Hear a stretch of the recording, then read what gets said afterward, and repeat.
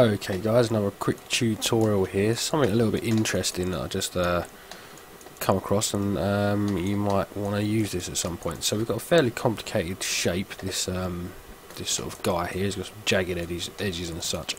So we're going to turn him into a um, piece of nCloth and we're going to make the floor a passive collider and we're just going to hit play and we're going to get a fairly slow simulation as you'd expect.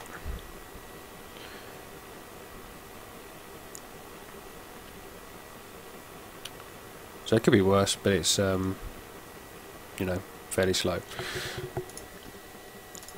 Obviously, I'd hope you'd be using a much nicer model than this, but this is just uh, just trying to show you something here. So let's go back a couple of steps. This requires a little bit of pre-planning. So I'm just going to create a cube.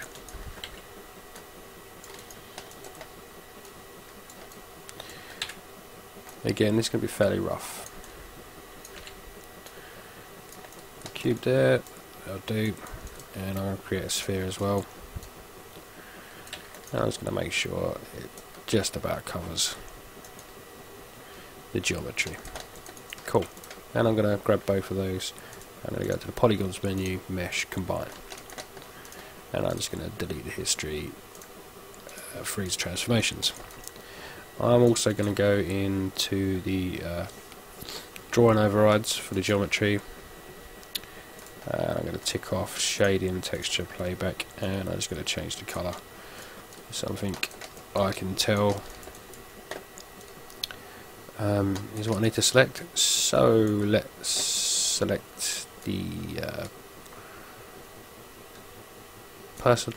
Let's select the geometry and I'm just going to go to the animation uh, menu create deformers and uh, I'm going to hit wrap Okay, so now when I select this geometry, it deforms the object.